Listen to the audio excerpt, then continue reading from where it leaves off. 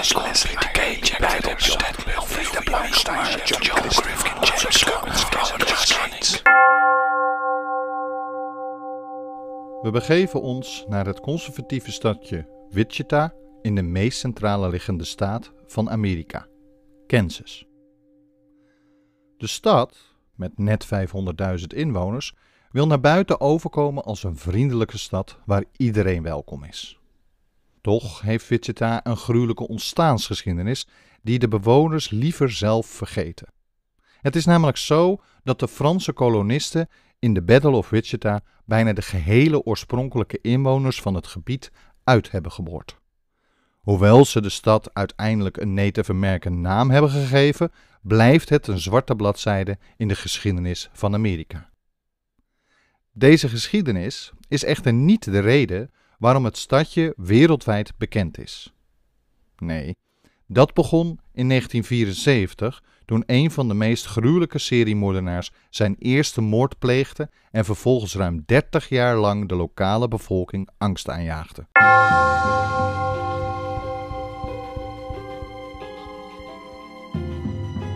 Welkom bij deze nieuwe aflevering van de podcast Moordverhalen. Iedere dag worden er 1342 mensen slachtoffer van moord. Dat zijn 490.000 moorden per jaar wereldwijd. En iedere moord kent zijn eigen verhaal. In de podcast Moordverhalen neem ik, Bastiaan Toornen, u mee in de meest bekende, maar ook onbekende verhalen van moordenaars, slachtoffers en politieonderzoeken. Ik vertel u over de luguberste seriemoordenaars, de bruutste misdadigers en de bizarste passiemoorden. Ik vertel u het verhaal van de slachtoffers, de nabestaanden en de daders. Ik vertel u hun moordverhaal.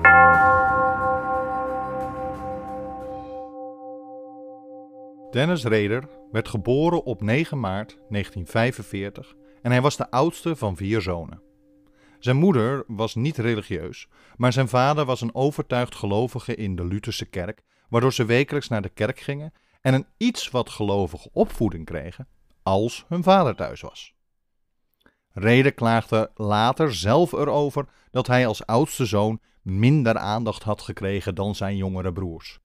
Echter is er geen enkel bewijs te vinden dat dit resulteerde in verwaarlozing of zelfs mishandeling.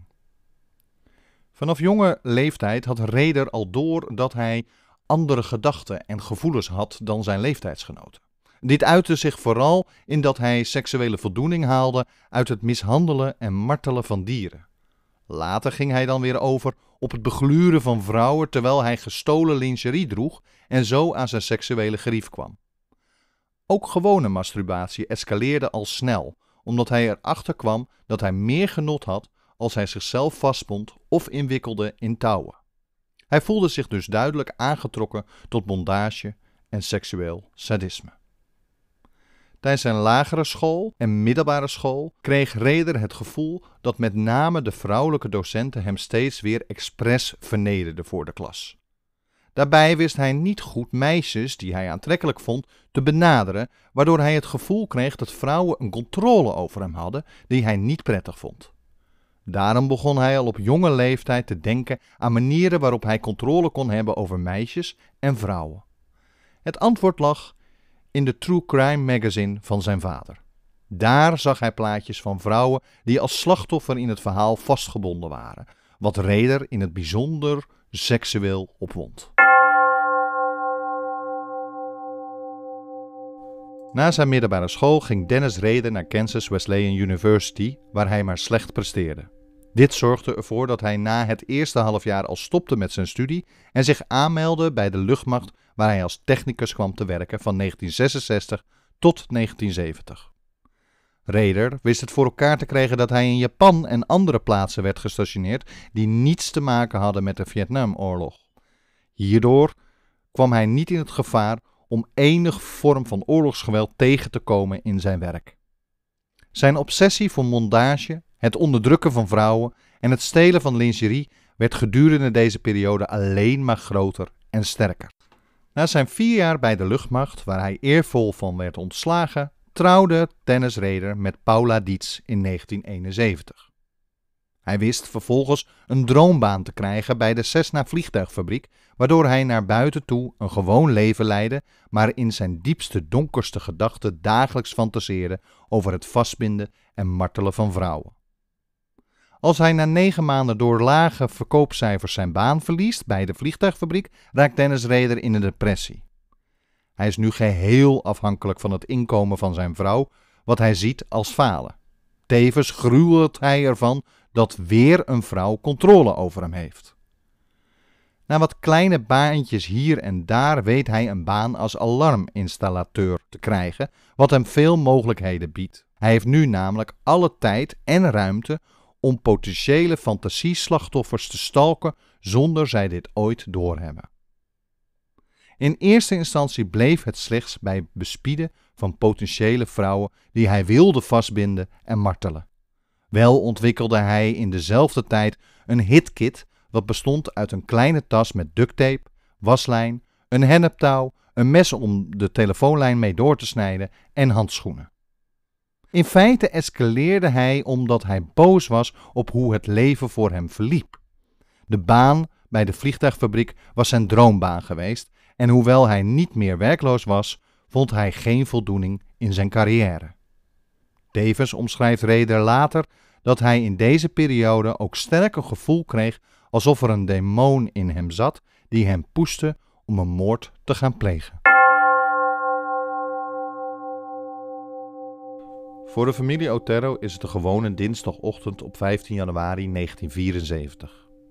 Het enige wat anders is, is dat vader des huizes niet naar zijn werk is, omdat hij thuis moet blijven wegens een kleine blessure die hij eerder die week opgelopen heeft op zijn werk. De oudste drie kinderen van het gezin maken zich klaar en vertrekken even later naar de middelbare school. Op het moment dat de kinderen net weg zijn, stapt Dennis Reder uit zijn auto en loopt met zijn hitkit om zijn schouder naar het huis. Zo stil als hij kan, snikt hij naar de muur waar de telefoonlijn buiten het huis komt en snijdt deze door zodat de familie geen telefoonverbinding meer heeft. Dennis Reder weet op dat moment niet dat de vader des huizes ook in het huis is. Hij heeft de familie maanden bestudeerd en kent hun ochtendroutine volledig uit zijn hoofd, waardoor hij ervan uitgaat dat hij alleen de moeder en twee jongste kinderen zal aantreffen in het huis. Reder gaat het huis binnen met een pistool in zijn handen en bedreigt direct de twee overgebleven kinderen die samen met hun moeder nog aan het ontbijt zitten.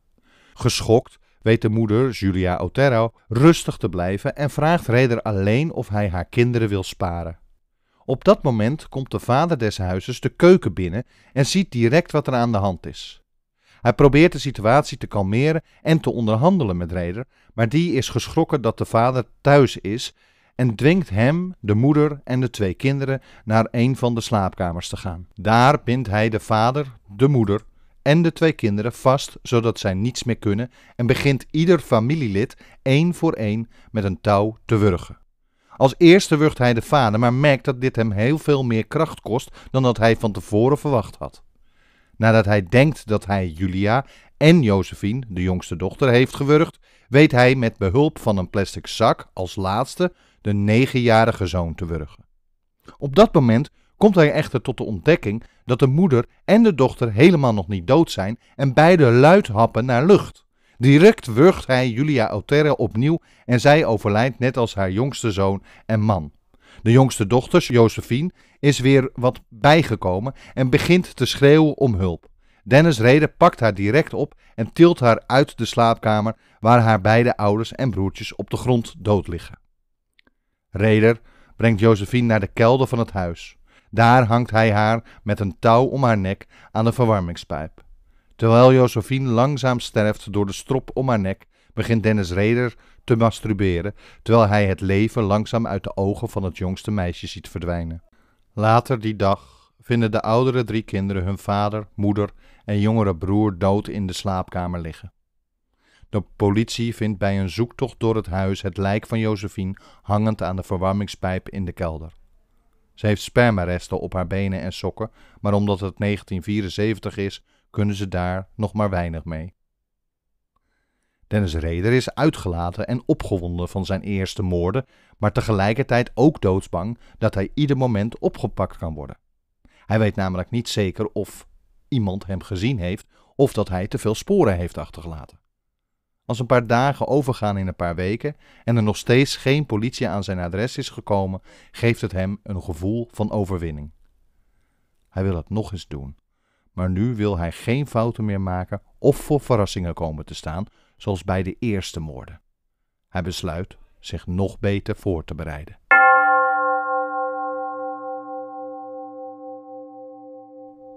Terwijl de politie zoekt naar de dader of daders van de moord op de Otero-familie, is heel de stad Wichita geschokt van de gebeurtenis.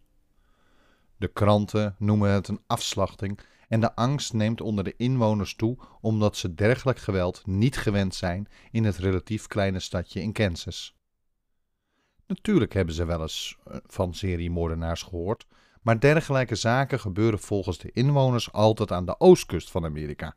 Staten als New York, Washington en Florida staan bekend om de Son of Sam, Ted Bundy en vele andere seriemoordenaars. Dennis Rader keert terug in zijn leven als trouwe echtgenoot, jeugdleider van de Lutherse kerk en trouwe werknemer en doet alsof er niets is gebeurd. Tevens begint hij een avondstudie rechten aan de universiteit om zo politieagent of overheidsambtenaar te worden. Hierdoor zou hij meer informatie tot zich kunnen krijgen en controle kunnen uitoefenen op het onderzoek naar zijn verschrikkelijke daden. Overdag is hij vooral bezig met het stalken van vrouwen die voor hem potentiële nieuwe slachtoffers zouden kunnen zijn. De fouten die hij gemaakt heeft bij de Otero-familie wil hij niet meer maken. Hij wil een vrouw als slachtoffer die hij helemaal voor zichzelf kan hebben en waar hij niet voor verrassingen kan komen te staan. Hierdoor maakt hij voortaan bij iedere potentieel volgend slachtoffer aantekeningen en bewaart deze in zijn auto. Hij stalkt de vrouwen voor lange perioden en probeert zoveel mogelijk van hen te weten te komen. Zijn potentiële nieuwe slachtoffers noemt hij projecten. Op 4 april 1974 slaat Dennis Rader opnieuw toe en breekt via de achterdeur het huis van Catherine Bright in, terwijl zij nog op haar werk is. Daar wacht hij tot Catherine thuiskomt, omdat hij haar dan voor zichzelf kan hebben. Catherine Bright is een jonge, aantrekkelijke vrouw van 21 jaar die alleen woont en geen liefdesrelatie heeft. Wat Reder echter niet weet, is dat Catherine die dag heeft afgesproken met haar broer. Opnieuw is Dennis Reder verrast en moet direct improviseren aangezien hij nu twee slachtoffers heeft in plaats van één. Direct als Catherine met haar broer het huis binnenkomt, staat Reder achter de deur met getrokken pistool en bedreigt hen. Als eerste verzint Reder een smoes dat hij een voortvluchtige is en al het geld van Catherine en haar broer wil hebben. Tevens eist hij hun autosleutels om ze vervolgens te dwingen een slaapkamer in te gaan. Daar dwingt hij de broer van Catherine om zijn zus vast te binden en vervolgens bindt Reder de broers zelf vast en plaatst hen ieder in een aparte kamer. Snel pakt Dennis Reder een sjaal uit de kast van Catherine en begint haar te wurgen met haar eigen sjaal.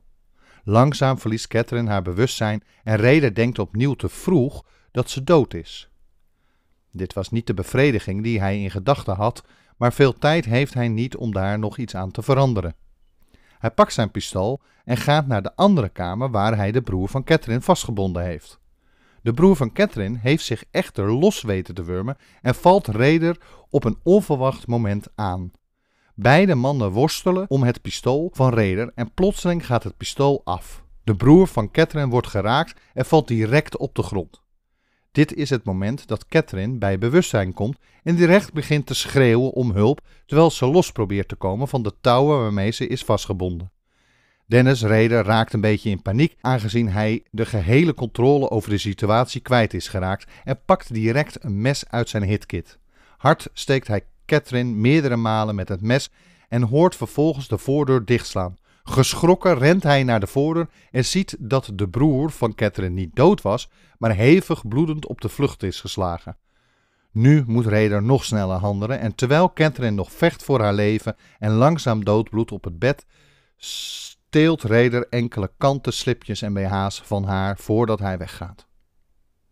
Omdat deze moord op Catherine Bright en de poging tot moord op haar broer totaal anders is gegaan als de moord op Otero-familie, maakt de politie niet de connectie en blijven ze het voor lange tijd zien als twee aparte zaken.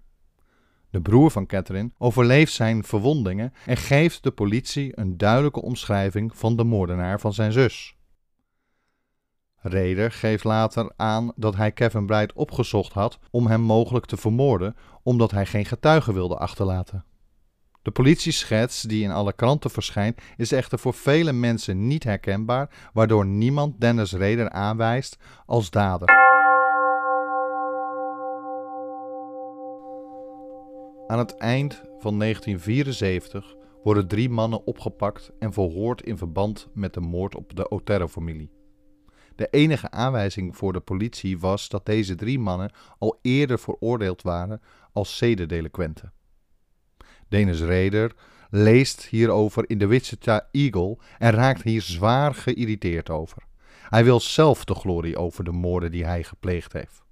Daarom besluit hij direct een anonieme brief te schrijven om duidelijk te maken dat de drie mannen die verhoord werden door de politie niets te maken hadden met de werkelijke moorden. Hij plaatst de brief in een boek van de publieke bibliotheek. Dan belt hij anoniem een journalist om te vertellen waar de brief is te vinden. Maar in plaats van dat de journalist zelf de brief gaat zoeken, tipt hij de politierechercheurs die bezig zijn met de zaak. Zij vinden de brief in de publieke bibliotheek in het boek waar Reder het in verstopt heeft. De hele stad Wichita is nu heel erg bang geworden en mensen bestellen massaal alarmsystemen. Dit houdt Reder echter niet tegen, aangezien hij werkt voor een van de grootste bedrijven in Wichita die alarmsystemen installeert. In 1975 bevalt de vrouw van Dennis Reder van hun eerste kind en de politie is nog geen stap dichterbij de moordenaar van de Aterra-familie of Catherine Bright. Ze zoeken namelijk onder de voormalige zedendelinquenten of herkenbare psychopaten waarbij iedereen een onprettig en verdacht gevoel krijgt. Ze zoeken niet naar een doodgewone man met een redelijke normale baan, die ook nog eens actief is in de kerk en sinds kort met zijn vrouw een eerste kind heeft gekregen. Want die kon toch niet dergelijke gruwelijke moorden plegen? Het is niet dat Dennis Reder nu de politie te slim af was. Uit zijn verhoren later en fouten die hij gemaakt heeft, is duidelijk op te maken dat hij niet bijzonder intelligent was, ook al willen andere podcasts en of documentaires dit soms wel doen geloven. In feite was Reder een gemiddelde man, met een gemiddelde intelligentie, en het is meer om het geluk wat hij had en wegens de beperkingen van de forensische wetenschap van toen, dat hij uit de handen van de politie wist te blijven, dan dat het iets met zijn intelligentie te maken had. Door zijn gezinsverplichtingen kon Reder niet direct opnieuw toeslaan. Uit aantekeningen en zijn eigen verhoren blijkt dat hij wel nog potentiële slachtoffers stalkte en op zijn tijd bij huizen inbrak om lingerie te stelen van vrouwen die hij wilde controleren, maar het duurt tot 1977 voordat hij opnieuw toeslaat. Deze aanval was echter een spontane uitspatting en niet gepland zoals hij normaal gesproken wel zou doen. Shirley Vian had hij niet gestalkt en hij had er ook geen aantekeningen van gemaakt voordat hij overging op de aanval. Shirley Vian behoorde eigenlijk niet tot een van zijn projecten. Hij wilde die dag eigenlijk een ander slachtoffer aanvallen, echter was deze niet opkomen dagen. Maandenlang had hij dat slachtoffer gestalkt maar toen zij niet kwam op het moment dat hij besloten had om te escaleren, was de drang bij Rijder te groot geworden, waardoor hij besloot om aan te bellen bij Shirley Vian. De jonge kinderen van Vian, van 8, 6 en 4 jaar oud, lieten Reder naar binnen omdat hij zich voordeed als een regisseur van de politie. Reder wurgde Shirley Vian op het bed terwijl haar kinderen toe moesten kijken vanaf de badkamer door een kier van de deur. In december 1977 slaat hij opnieuw toe door Nancy Fox te vermoorden, die hij zelf omschreef als project Vossenjacht. Deze moord is de eerste die precies verliep zoals Dennis Reder het had gepland. Eerst had hij haar voor maandenlang gestalkt en wist alles van haar komen en gaan. Vervolgens had hij de telefoonlijn doorgesneden en haar opgewacht in haar huis om haar vervolgens vast te binden te martelen en te wurgen. Dit alles deed hij terwijl hij tussendoor aan zijn seksuele gerief kwam. Zo is hoe hij het wilde, en vele jaren later gaf hij zelf toe dat het nog steeds de moord was die het dichtst bij zijn fantasieën kwam. Doordat alles zo verlopen was als dat hij fantaseerde, raakte Reder in een uiterste extase en wordt overmand met een superioriteitsgevoel. Hierdoor krijgt hij de arrogantie over zich dat hij slimmer was dan de politie en meldt in die staat van euforie zijn eigen misdaad via een telefoon anoniem bij de politie. Vijf maanden na de moord op Nancy Fox geniet Reder nog steeds van zijn succes en de angst onder de bevolking van Wichita geeft hem een groot gevoel van macht en onoverwinnelijkheid. Daarom schrijft Reder een brief naar de lokale tv-zender waar hij in aangeeft dat hij de moordenaar is van de Otero-familie, Catherine Bright, Shirley Vian en Nancy Fox. Hij sluit de brief af met de zin Seven down and many more to go. Vervolgens tekent hij de brief met BTK, wat staat voor Bind, Torture, Kill. Dit is pas het moment dat de politie van Wichita doorheeft dat ze met een seriemoordenaar te maken hebben. Een seriemoordenaar die inmiddels al zeven slachtoffers heeft geëist en waarvan zij nog geen idee hebben wie het is. Burgers in Wichita zijn doodsbang omdat het iedereen duidelijk is dat zelfs het eigen huis niet per se meer een veilige plek is tegen de BTK-killer. De politie krijgt ondertussen duizenden tips binnen die allemaal nergens toe leiden. En Raider keert terug, geniet het van de impact van zijn moorden naar zijn normale getrouwde leven. Zeven jaar lang is Raider de nette echtgenoot en vader van twee kinderen. Het enige waar hij niet mee stopt is het stalken van potentiële slachtoffers waar hij in zijn fantasieën op losgaat. In april 1985 slaat Raider voor het eerst weer toe. Hij lijkt echter af te wijken van zijn eerdere patroon, omdat hij nu een directe buurvrouw, de 53-jarige Marine Hedge, vermoordt. Dennis Reder kent Marine Hedge persoonlijk en als hij tijdens deze moord een scoutingpad achterlaat in het huis van zijn slachtoffer, raakt hij enigszins in paniek en verzint een reden waarom zijn pet in het huis van Marine Hedge lag. De buurtonderzoekers na de moord nemen met zijn smoes genoegen, aangezien Dennis Reder inmiddels een gemeenteambtenaar is geworden en overkomt als een gewone, bezorgde buurman. Tijdens de moord was Reder echter opnieuw euforisch geweest en had het lijk meegenomen naar zijn kerk, om daar bondagefoto's mee te maken. Vervolgens had hij het levenslogische lichaam van Marine Hedge bij een vuilcontainer gedumpt. Iets meer dan een jaar later vermoordt Reder de 28-jarige Vicky Weggerly. Dit is echter zijn meest haastige moord en de enige waar hij niet aan zijn seksuele gerief kwam en geen spermaresten achterliet. Dit kwam omdat Vicky steeds dreigde dat haar man ieder moment thuis kon komen en haar honden gedurende moord hard bleven blaffen. Wel nam Reder foto's van zijn moord, zodat hij later alsnog zijn seksuele drang zou kunnen inlossen. Reder keert opnieuw voor vijf jaar terug naar zijn getrouwde leven en fantasieën, terwijl hij wel potentiële nieuwe projecten stalkt en hier en daar lingerie steelt. In 1991 vermoordt hij de 62-jarige Dolores Davis. Eigenlijk wilde hij haar jongere dochter vermoorden, maar op de avond dat hij toesloeg was zij niet aanwezig. Nadat hij Dolores vermoord heeft, neemt hij opnieuw verschillende foto's van het lijk in bondageposities om vervolgens het lichaam in een meer van de gemeente te dumpen. Deze laatste drie moorden worden pas veel later door de politie gelinkt aan de BTK-killer, omdat het patroon te veel afweek van de eerdere moorden.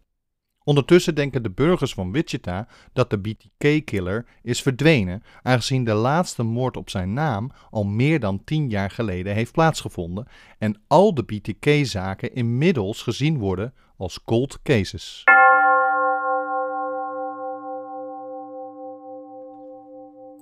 Dennis Rader lijkt vanaf de laatste moord genoeg fantasie te hebben, waardoor hij weer als gewone vader en echtgenoot het leven oppakt. Het stalken en hier en daar lingerie stelen blijft doorgaan, maar is blijkbaar samen met de herinneringen genoeg voor Reder om zijn drang te bedwingen.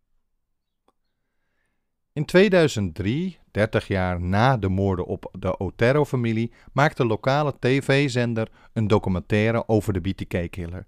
Nog geen maand later schrijft ook de Wichita Eagle over de nog steeds op vrije voeten zijnde seriemoordenaar en meldt daarbij dat een lokale advocaat een boek aan het schrijven is over de BTK-zaken.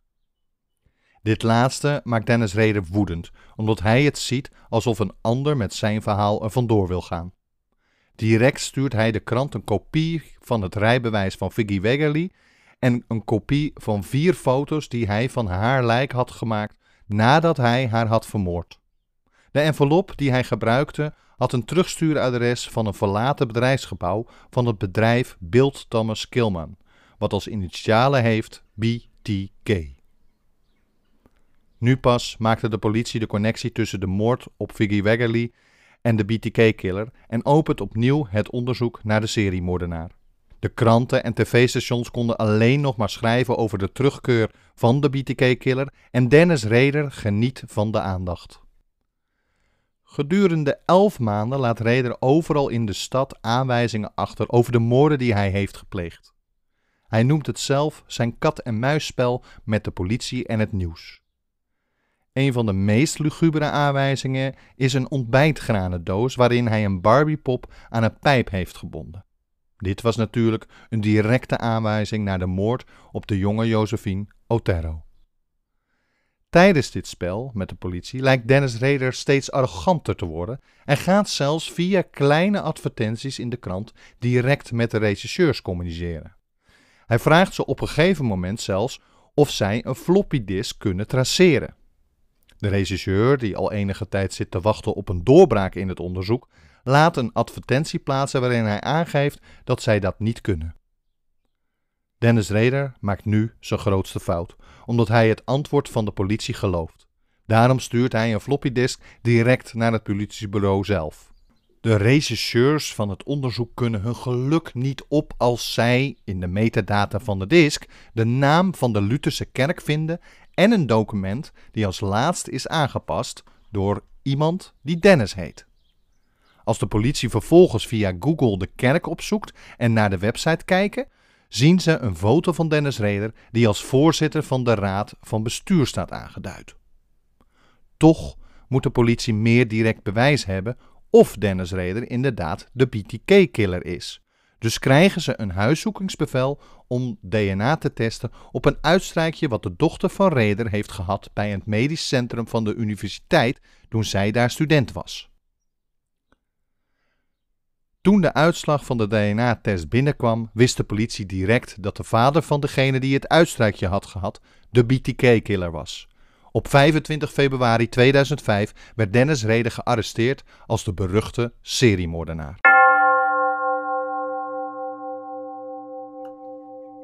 Tijdens de verhoren was Dennis Reder in eerste instantie verbaasd dat de politie hem toch te slim af was geweest en ontkende hij iets te maken te hebben met de moorden. Toen vervolgens de regisseurs hem de uitleg gaven over het DNA-onderzoek, begreep hij dat er geen ontkennen meer aan was en bekende hij al zijn misdaden. De vrouw en kinderen van Dennis Reder waren geheel verrast door zijn bekentenissen en Paula Reder, zijn vrouw, leek er psychisch zelfs onderdoor aan te gaan. Dit was ook de reden dat rechter Erik Jost afzag van de 60 dagen wachtperiode, waardoor zij direct van hem kon scheiden. Tijdens de rechtszaak bekende Dennis Reder de tien moorden waar hij van verdacht werd en omschreef iedere moord tot in detail. Hoewel hij tijdens de bekentenis maar weinig berouw liet zien, bood hij later wel zijn excuus aan aan de nabestaanden van de slachtoffers. De rechter veroordeelde Dennis Reder tot tien keer levenslang zonder kans op vervroegde vrijlating. Momenteel leeft Dennis Reder nog en schijnt in de gevangenis een eenzaam bestaan te leiden. Hij krijgt geen bezoek van zijn familie, die zich helemaal van hem hebben afgekeerd, en weigert ieder interview. Dit laatste heeft ook tot meerdere speculaties geleid, aangezien de politie nog enkele onopgeloste moorden op zijn konto wil schrijven. Dennis Reder schijnt echter nooit met hen te willen praten en is ook stil naar de pers toe. Dit waarschijnlijk omdat Kansas sinds enkele jaren de doodstraf opnieuw heeft ingevoerd. En hoe ironisch het ook is, de BTK-killer schijnt bang te zijn voor de dood.